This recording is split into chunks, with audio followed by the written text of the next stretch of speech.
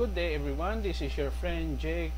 Welcome to my channel and then in this tutorial video guys, we will create addition of two numbers do you want to try again using Python programming language. Before we continue, I would like to say thank you very much to all my subscribers, especially here in the Philippines, India, USA, and other uh, countries around the world who are my avid viewers and subscribers in my channel. Thank you so much for your support. If you are new with my channel and then you like this video don't forget to like click the bell button select all so that you will be notified with my newly uploaded video.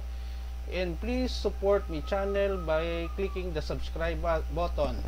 If you have some questions just leave it in the comment. Before anything else uh, I would like to inform everyone that this video tutorial there is a free source code on this. You can in the video description just click the the the link in the video description so that you can download the complete and free source code. So let's get started.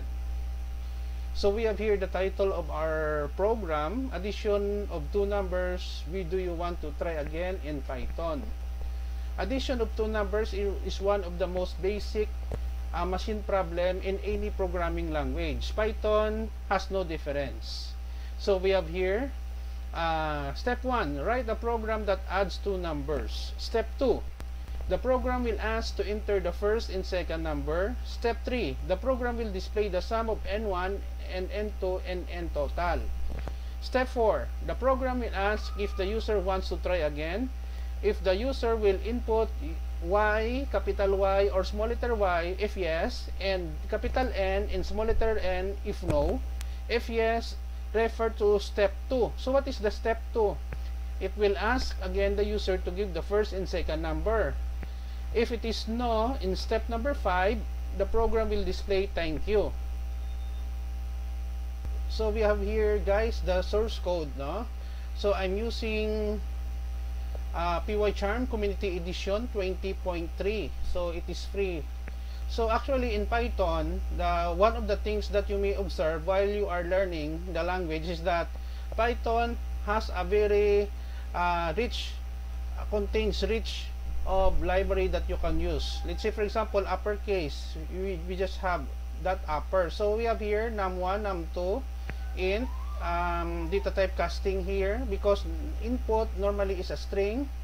So it will ask the user to give values in our variable num1 in num2 so here we have here assignment statement sum equals num1 plus num2 so when we say integer we are referring to a data type that has negative 0 and positive numbers with no decimal places.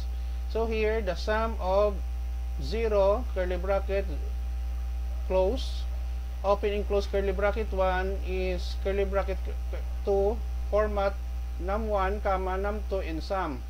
Now in this portion of the code in line number 5 we are asking the user ans input do you want to try again? While ans whatever the value capital or small letter y it will be automatically converted by this function that upper. So it will ask again and then display the result if it is as again if it is no thank you. So let us compile and run the code so that we can see the output. So we have here enter first value. We have 5 second value we have 7 the sum of 7 and uh, 5 and 7 is 12 do you want to try again? Yes. First value 8 second value 12, 21 so the sum of 8 and 21 is 29 do you want to try again yes. 3 and 14 for second value the sum of 3 and 14 is 17 do you want to try again? Yes.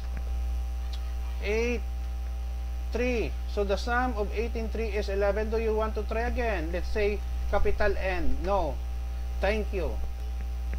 As easy as that. So this is the end of our tutorial video guys. I hope that you have learned something new on how to create addition of two numbers with do you want to try again in Python using while loop statement uh, I'm very sure you you are very excited to know that how creating this kind of program is not difficult as it may seem.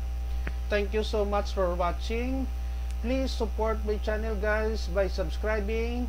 Please like, share, and see you in the next video tutorial guys. This is your friend Jake saying bye bye for now.